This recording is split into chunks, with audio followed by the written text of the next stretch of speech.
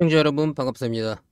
오늘은 포스코 홀딩스, 포스코 인터내셔널 퓨처엠, 어, 포스코 홀딩스, 어, 포스코 6개 상장사 중에서 이렇게 3개 상장사에 대해서 알아보겠어요. 바로 2차 전지 전문 기업들이죠. 이제는 이젠 이, 전문 기업이라고 해도 되죠.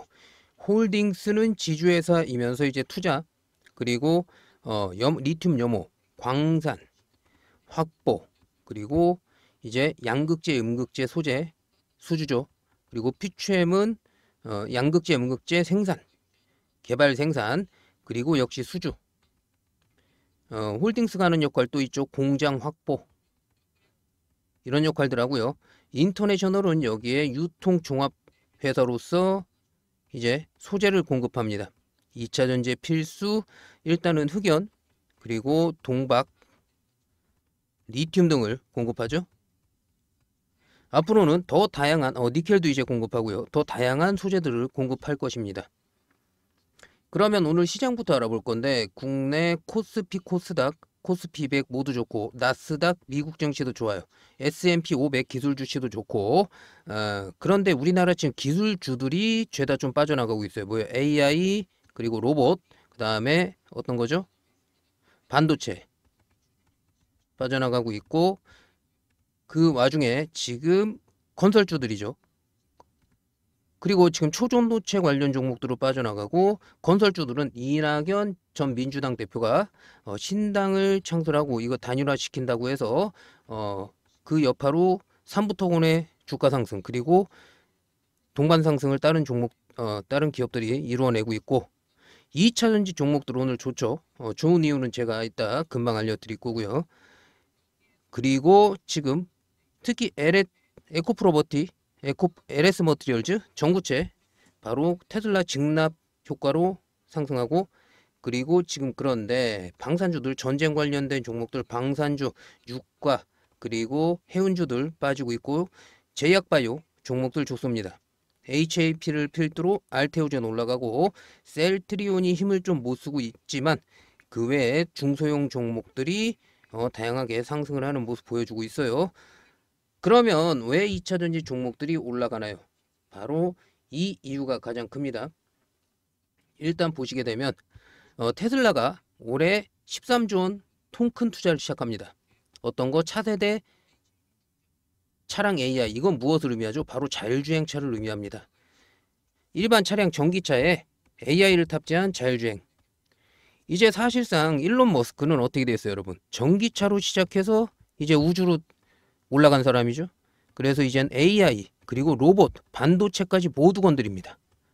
거의 전 산업 분야를 다 건드려요. 지금 건설 건설 산업 분야 이 정도 부동산 산업 분야도 어, 부동산도 건드리 이미 건드리고 있죠.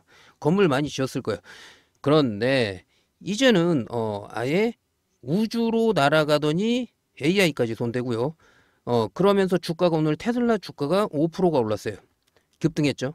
여러분, 테슬라가 주가가 오르면 어, 우리나라 2차 전지 종목들은 자연스럽게 전기차 종목들 동반 상승합니다.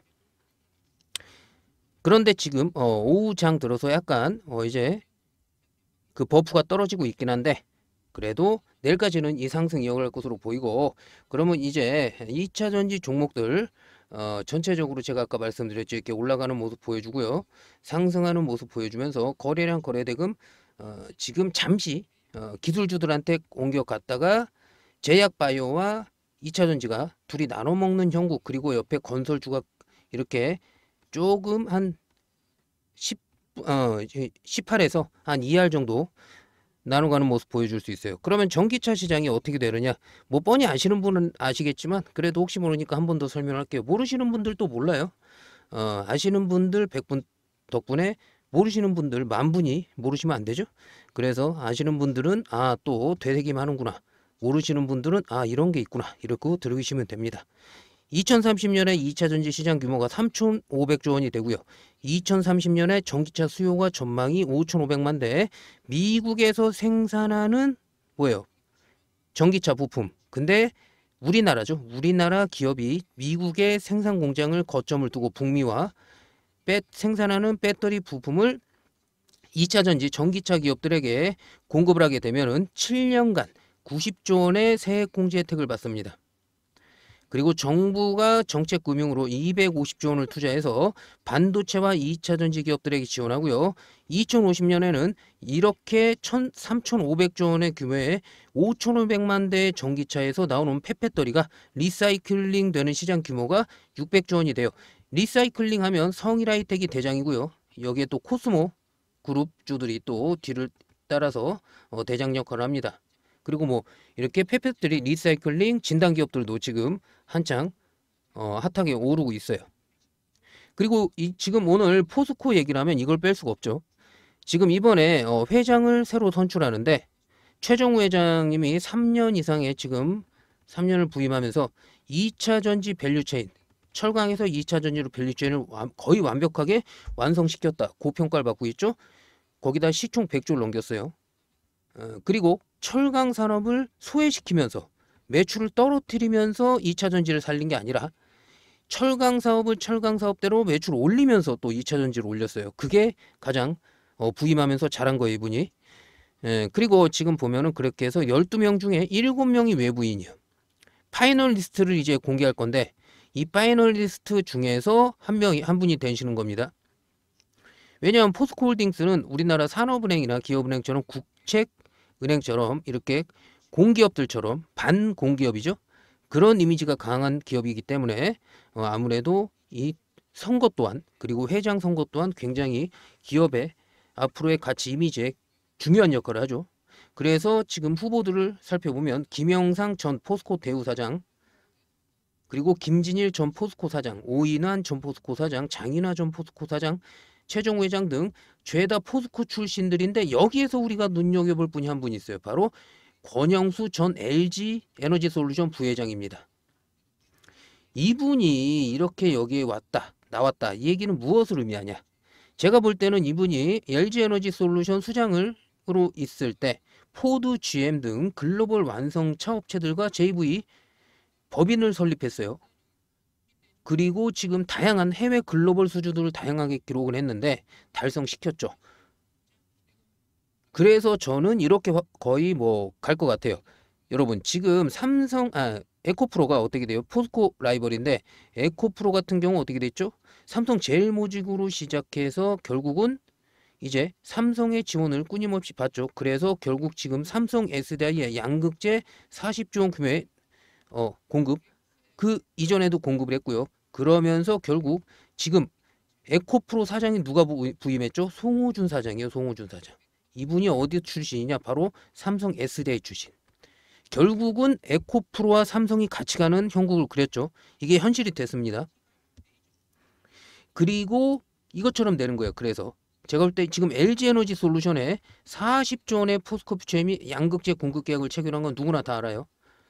그렇게 해서 결국 LG 에너지 솔루션이 완성형 배터리 업체 어, 최고의 기업인데 CATL 중국의 그 기업을 제외하고는 세계 최고죠. 결국은 LG 에너지 솔루션과 포스코가 가게 된다. 같이 가는 거죠.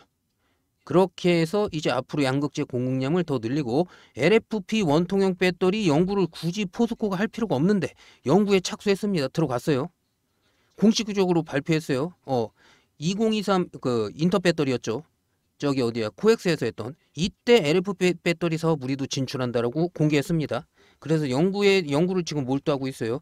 그런데 지금 LG 에너지 솔루션이 메인으로 이끄는 뭐예요? 메인으로 내놓는 배터리가 LFP 배터리예요. 이 LFP 배터리를 더 업그레이드 시켜 차세대 배터리를 진행 중이고 그리고 어, 전고체 배터리도 연구 중인데 결국은 이렇게 해서 포스코의 최종 목표는 완성형 배터리 업체겠지만 이업을 하려고 한것 같은데 결국 LG 에너지 솔루션이 이렇게 포스코와 같이 가게 된다. 이렇게 저는 어, 추측을 합니다. 이거 나중에 결과 나와보면 거의 제 얘기를 들으시고 보시는 분들 깜짝 놀라실 겁니다. 어 진짜 맞았네 이러고 그죠 여러분?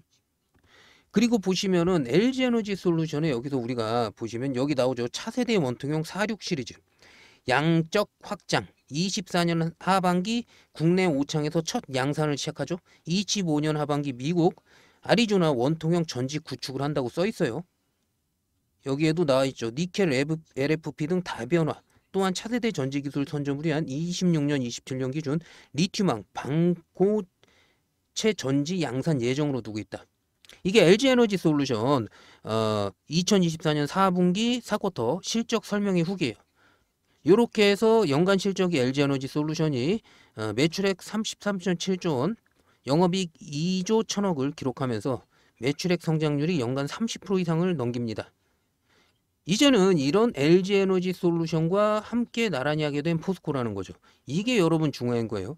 이 이유만으로도 솔직히 말씀드려서 포스코가 지금 주가가 4일 연속 상승을 하고 있어요. 갭 상승을 보여주면서 그러면 이것은 무엇이다? 상승 추세선에 진입을 했는데 그 이유가 사실상 단순하게 테슬라가 주가 급등하고 2차 전지가 다시 살아나고 이것 때문일까요? 아닙니다. 이런 강력한 이유들이 안에 내포가 돼 있기 때문에 이 소문들이 돌고 돌아서 결국 이 찌라시들이 찌라시들을 통해서 이게 주가 수급이 유입이 되는 거예요. 여기에 외인들과 세력들이 당연히 들어오겠죠. 그리고 지금 우리가 어 제가 이따 보여드릴 건데 그거는 지금 포스코 홀딩스, 퓨처엠, 인터내셔널이 동반 상승을 하고 있어요. 세 개 종목이. 그리고 주가 흐름도 비슷하게 그립니다. 그러면 여기에서 수급이 맞물리는 내용이 있어요. 제가 이따 보여드릴게요. 아 이거 이거 먼저 보여드리고 가야겠다. 일단 보시게 되면은 종목별 투자자 보여드릴게요. 포스코 홀딩스 나오죠. 보시면은 이렇게 기관 기관들이 지금 계속 매집해요. 외인들은 빠지고 개인들 빠져도 그런데 이 기관 중에서 연기금 사모펀드 들어왔죠. 그러면 퓨처엠을 보겠습니다.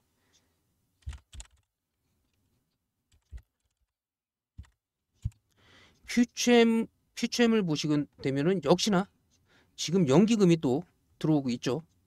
들어오고 있어요. 그리고 포스코 인터내셔널 연기금 대량 매집했죠 지금 계속 들어옵니다 끊임없이 그쵸 여러분? 이 거짓말이 아니죠. 이거는 어 차트 차트 그리고 증권사 지금 시스템이 검증한 거니까 그 다음에 지금 어 지금 차트 지금 차트 candle candle 위치를 제가 한번 흐름을 볼게요. 포스코 인터내셔널 candle 보셨죠? 그 다음에 이제 포스코 퓨처엠 비슷하죠? 홀딩스 비슷하죠? 이겁니다. 이 상황에서 이제는 어떻게 된다? 결국은 이런 큰 이유가 있기 때문에 연기금 외인들이 지금 진입을 하면 세력들이 진입을 하면서 어떻게 돼요? 주가를 끌어올리고 있다. 공매도 제가 장구도 이따 보여드릴 거예요. 어. 그리고 보시면은 포스코 퓨처앤 포스코가 지금 2030년에 양극재 100만 톤, 음극재 37만 톤의 생산 캐파를 목표로 달려 나갑니다. 그러다 보니까 증권사들도 뭐 모건 스탠리, 한국투자증권 등 목표가를 특히 한국투자증권은 어, 참 좋은 증권사다. 우리한테 90만 원이나 잡아줬어요. 어, 저도 90만 원 단기 장기적으로는 뭐 100만 원 넘어갈 수도 있어요. 내년 뭐 이렇게 되면 근데 단기적으로 90만 원은 아닌데 그래도 어, 단기적으로 5, 60만 원 정도 보면 되는데 앞서서 어 90만 원이나 목표가를 잡았다.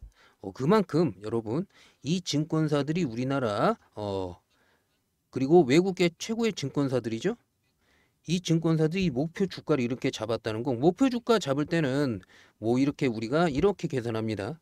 어, 매출과 영업이익이죠. 그 영업이익의 PER을 몇 배를 더하느냐. 그거는 이제 이 뭐예요? 그 광고비라든지 이런 것들 빼고 순이익만 가지고 그거를 계산을 해서 거기다가 이제 보유 주식 수를 나누기를 하게 되면은 이제 어, 목표 주가가 나오는데 그것들로 유치했을 때 90만 원이다. 이거는 어 제가 봐도 굉장히 많이 올라갈 거예요. 지금 44만 원이 가장 적습니다. 모건 스탠리 떼찌 해 줘야 되는데 그래도 44만 원도 지금 넘겼죠. 네.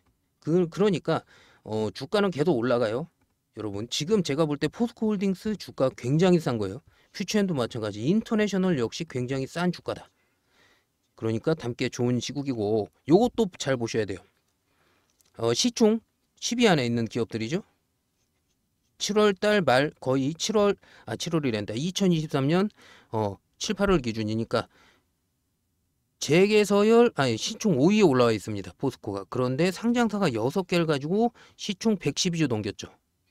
그런데 현대자동차랑 비슷해요. 10조 차이 나는데 현대자동차는 12개. 그쵸? 그리고 SK는 168조 50조 차이 나는데 21개. 그러면 이것만 놓고 비교해 봤을 때도 포스코의 주가는 너무 싸다. 이렇게 보시면 되겠습니다. 지금 사도 어, 싼 거예요. 그리고 포스코는 어, 뭐냐면 이제 2차 전지가 혹여나 잘못돼도 잘못될 일도 없지만 잘못되더라도 혹여나 천재지변으로 다양한 사업을 하고 있기 때문에 지금 보이시는 사업들 그쵸? 건축 뭐 이번에도 포스코 ENC가 뭐예요? 부산에 재개발 대여를 따냈죠. 1조 3천억 원짜리 수주했습니다. 그리고 철강에서는 워낙 강자고 리튬 니켈 사업 2차 전지 소재 그리고 에너지 친환경 사업이죠. 탄소 저장소 해상 풍력 사업 바이오 백신 수출도 하죠. 이렇게 해서 매출 신장이 두 배, 이익 상승 네 배를 보고 가요. 2030년까지. 철강 소재만 870만 톤, 친환경차 부품 수주 3만 260억 원. 2차 전지 소재 3천 아, 345만 톤. 아, 아니구나. 친환경 철강 원료 500만 톤, 34만 5천 톤. 2차 전지 소재. 그렇게 해서 지금 어, 포스코 그룹의 투자 배분을 보게 되면 철강을 2차 전지가 철강을 넘겨버렸죠. 투자 투자이익에서. 철강이 원래 메인이었는데 바뀌었다 그 얘기예요. 그렇게 해서 35할 그리고 철강이 이, 배터리 소재가 46할, 친환경이 19할 이렇게 됩니다. 그리고 이제 어 요거는 이제 시총이고요.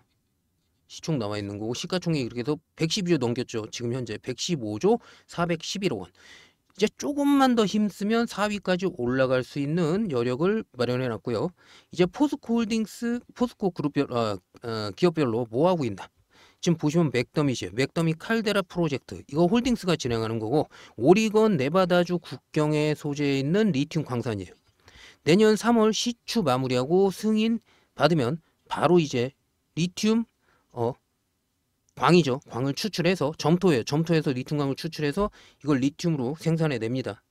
어, 몇 억만 톤 여기 들어가 있어요. 5억 톤이었나? 엄청납니다. 전 세계에서 가장 많은 리튬 정광을 보유한 곳이 여기예요. 여기 빨강색 두 군데죠.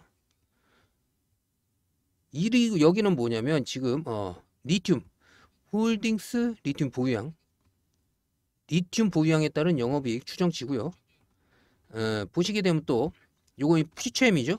퓨처엠의 수주액. 이건 뭐 누구나 다 아실 텐데 2023년 22년에 기록한 수주만 해도 일단 삼성 SDI와 양극재 공급 40조.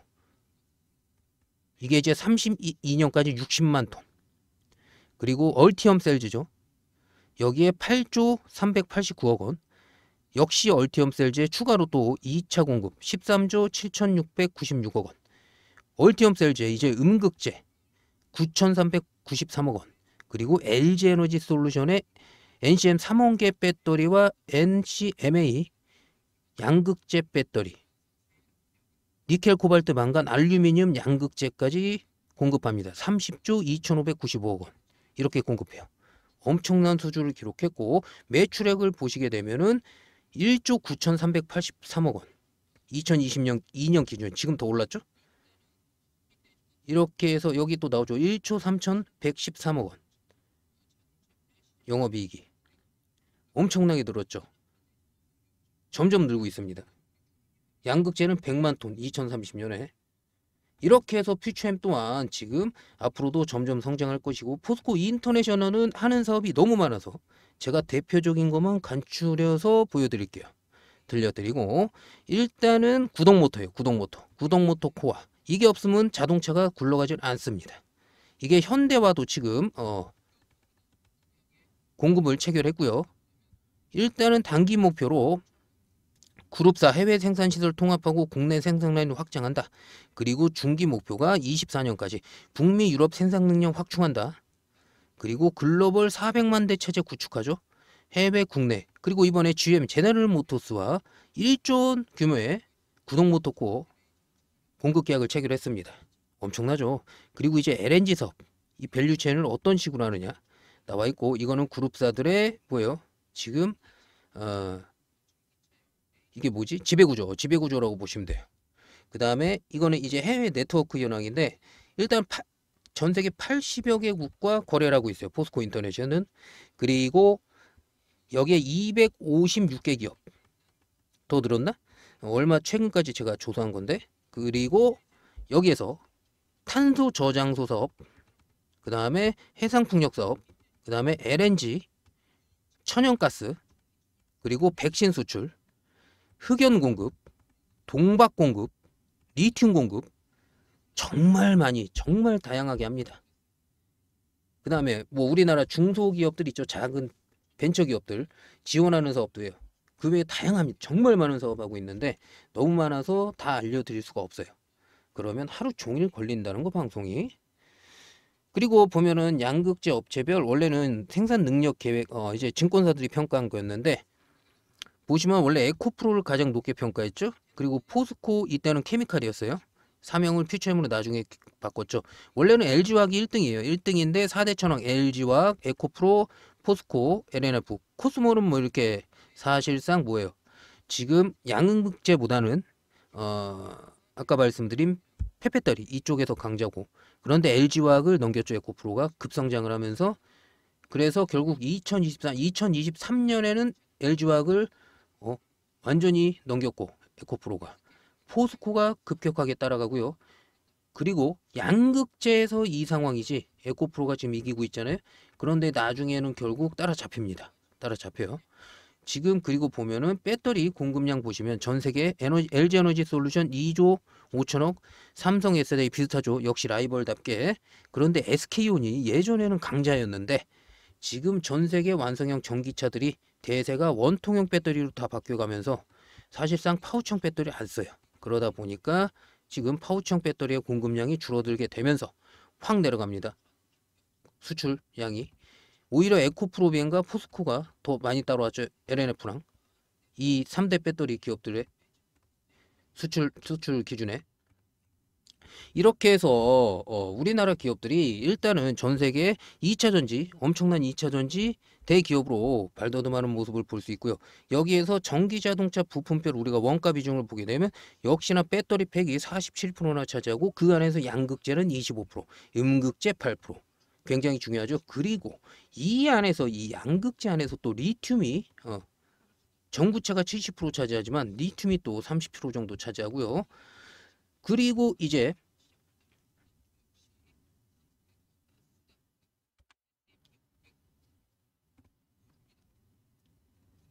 그리고 이제 차트를 추가로 좀 보게 되면은 이게 이제 포스코 홀딩스의 차트인데 어, 주가가 사실은 이렇게 여기죠. 작년 7월에 2차 전지가 돌풍 일으키면서 엄청난 상승을 보여줬습니다. 이 단기간에도 합산 지금 금액이 38만 원이 올라갔어요. 거의 37만 원에서 두 배가 올라갔다는 얘기예요. 거의 100% 상승을 보여줬고요. 그 다음에 이제 중요한 거는 그 다음이 중요한데 여기에서 쌍바닥을 찍어버리죠. 쌍바닥을 찍어버리게 되면서 사실상 이제 원래는 그 전에 여기죠. 여기 이 라인에서 급등을 했을 때 여기에서 상행선을 그리고 있죠. 지금 이제 올라간다는 얘기 올라갈 건데 이때 원래 올라갔어야 돼요. 근데 왜 이 상행선이 지금 이렇게 그려져 있느냐? 오늘 이제 며칠 전부터 시작했죠. 급등이 이 쌍바닥 세 번째 구각을 이탈하면서 주가가 빠졌고요. 드디어 이제 어 43만 원대 다시 40만 원대 복구하면서 다시 또 올라갑니다. 그러면서 이제 1차로 여기 가야죠. 50만 원대 넘어가고 이제 52만 원대 넘어가고 그리고 나서 여기 60만 원대 여기에 안착을 했을 때 어떻게 된다? 일단은 52만 원을 넘겨야 60만 원대는 어 쏜살같이 달려고 할 수 있다는 이 분석 내용이 나오고 있어요. 지금 현재 차트상으로 봤을 때 이건 슈퍼 차트라서 어, 향후 분석 내용도 나옵니다. 저 제가 따로 사용하는 거고 제가 그래서 얼마 전에도 방송에서 분명히 말씀드렸어요. 여기 40만 원이 중요하다. 이 40만 원에서 추가 이탈만 없다면 충분히 어, 또다시 상승을 할 수 있는 여지 이때 70만 원대 영광을 다시 한번 누려볼 수 있겠다 말씀을 드렸고 그리고 포스코 인터내셔널과 퓨처엠도 사실상 비슷한 차트를 그리고 있기 때문에 더 이상의 설명은 부연 설명을 하지 않겠습니다. 크게 의미가 없어요. 비슷하게 흘러가요. 금액만 이제 약간 틀릴 뿐이지. 그러면 어 제가 하나 팁을 드렸죠 지금 어 똑같아요. 어 똑같이 비슷하게 분석을 들어가시면 될 것 같아요. 아니다 그냥 가서 이것도 해야지 뭐. 포스코 피추엠을 와서 보시게 되면은 얘는 아직 하얀 곡선을 그리고 있어요. 제가 이것 때문에 봐서 본 거예요. 지금 보시면은 여기 여기 이 쌍바닥을 너무 많이 이탈했어요. 이 지금 쌍바닥 요거 요거 요 구간을 두 번이나 이탈했는데 보시면은 그쵸? 여기에서 지금 여기서 하얀 곡선 그리고 있죠? 그리고 있어요. 그런데 여기에서 지금 들어간 정고점이에요. 정고점. 이 정고점. 이 33만 원대, 35만 원대. 이 정고점을 어, 돌파하지 못하고 여기에서 지금 여기에서 이제 한 번 이탈했다가 다시 치쳐 올랐는데 여기 여기까지 갔다가 여기에서 이렇게 여기까지만 떨어졌어도 다시 눌림목 구간 그려줬어도 충분히 주가 상승 보여줄 수 있었는데 어 여기까지 왔죠. 지금 25만 6천 원. 그래도 다행히 주가가 다시 올라가고 있는데 중요한 거는 여기서 더 이탈을 하게 되면 어 진짜로 주가가 계속 빠질 수도 있어요. 그거는 포스코 홀딩스의 역할이 중요하고 이제 인터내셔널을 또 보게 되면 인터내셔널은 그래도 포스코 퓨처보다 조금 낫죠 상황이 그냥 딱 봐도. 역시나 여기 쌍바닥이죠 쌍바닥. 이 쌍바닥을 우리는 항상 봐야 돼요 여러분. 이 쌍바닥이 여기 어, 라인 라인을 제가 잘못 그렸는데 여기까지 연결시켜야 돼요. 이 라인 이 라인에서 급등을 했고요. 그 다음에 여기 여기죠. 여기서 급등을 보여줬을 때 줬을 때 6, 어, 6만 4천 원. 이걸 돌파해서 돌파해서 여기서 추가로 급등이 한 번 더 나왔어야 돼요. 그런데 여기서 급등을 놓치고 빠져버리죠. 이게 쌍바닥을 이탈했다는 얘기예요 그리고 지금 주가가 다시 올라오고 있는데 중요한 내용은 뭐냐면 어 이제 여기 6만 4천 원까지 다시 갈 수 있는 여지를 만들어야 돼. 여지가 무엇이 있느냐? 바로 지금 포스코 회장이죠. 회장이 어떤 사람이 선출이 되느냐에 따라서 그리고 이 기대감으로 주가가 상승 만약에 진짜 권영수 회장이 됐다. 그러면은 이거는 주가 6만 4천 원 그냥 돌파하죠. 뭐 이건 마, 일도 아니에요. 아까 퓨처엠도 마찬가지고 홀딩스도 마찬가지입니다. 그래서 우리는 누가 어떤 사람이 회장이 되길 가장 바라야 된다? 어, 바로 권영수 회장이죠. 어, 지금 도, 동의하시는 분들 손 한번 들어보시죠. 어, 어, 손이 안 보이지. 아무튼 간에 이렇게 해서 주가가 상승할 수 있어요, 여러분. 주, 이 상승하는 주가 우리가 잘 타고 수익 낼 수 있습니다. 그러면 여기서 중요한 게 뭐냐면 이 포스코 홀딩스도 그렇고 인터내셔널 퓨처엠도 똑같아요. 우리가 이제 목표가 제가 아까 60만 원 이렇게 여기까지 갔을 때 한국투자증권 90만 원 목표가 잡았고 그러면은 가기 전에 중간중간 매수가들이 나오죠. 왜냐 주가는 여기도 나오지만은 이 구간 특히 이 구간 많이 나오죠. 그리고 여기 구간도 많이 나왔어요. 이렇게 중간중간 이렇게 끌어올리고 끌어내리고 끌어올리고 끌어내리고가 있어요. 꼭 항상 있습니다. 이게 세력이 끌어올리고 끌어내리고 끌어올리고 끌어내리고 끌어올리고. 그쵸? 여기. 이 눌림목 구간이 형성될 때 여기에서 매수가가 나와요. 이 기회 매수가. 이 매수가 여러분이 알고 가셔야죠. 그리고 제가 포스코 홀딩스는 중장기적 목표가 60만원 잡았지만 다른 퓨처엠과 인터내셔널 목표가도 잡아야 되니까. 그쵸? 그러면 이 목표가 매수가 어떻게 잡을까요 우리가? 그건 바로 음 다음 방송에서 알려드리겠습니다. 다음 방송에도 같이 하죠. 뭐 예. 조금씩 알아가야죠. 우리가 뭐 한 번에 다 알면은 또 머리만 아파요. 머리 복잡하고 아이고야 이거 죽겠다. 진짜 막 어, 머리 지끈지끈하고 그래요. 저 이거 준비하는데 오래 걸립니다, 여러분. 하지만 여러분을 위해서 또 제가 이거 즐거움이 또 있어요. 제가 이렇게 또 어, 여러분에게 도움드리면 여러분이 또 구독과 좋아요도 눌러주시고 그 다음에 알림 설정도 하셔서 다음 방송도 제 거 보셔서 조회수도 올라가고 좋잖아요. 그러면 또 상부상조 하는 거고 누이 좋고 매부 좋고 님도 보고 봉도 따고 도랑치고 과제 잡고 얼마나 좋습니까? 아, 이게 또 세상 사는 거죠 뭐. 어. 상부상조. 아 좋다. 아 맞다. 이거 알려드려야죠. 아까 제가 뭐 알려드린다고 했지? 이거 차트에서 이게 차트마다 어, 증권사 차트마다 틀려요. 그런데 차트에서 날짜별로 이렇게 어 날짜별 candle 보시는 방법. 이거는 이제 키움증권 차트인데 포스코 홀딩스 돼 있고요 여기 위에 보시면은 여기 확대해서 보여드릴게요. 여기 보시면 날짜가 있어요. 우측 끝에. 여기서 내가 17일 날 캔들을 보고 싶어. 그러면 아래로 쭉쭉 내려봅시다. 이렇게 17일께 딱 잡힙니다. 1월 17일 나오죠? 이 1월 17일 캔들이 마지막으로 딱 나와요. 41만 9천 원 나오네. 그리고 우리가 24일 거 보고 싶다. 그러면 쭉 나오면 24일 잡히고요. 이렇게 24일 캔들이 마지막에 딱 나오죠. 그쵸?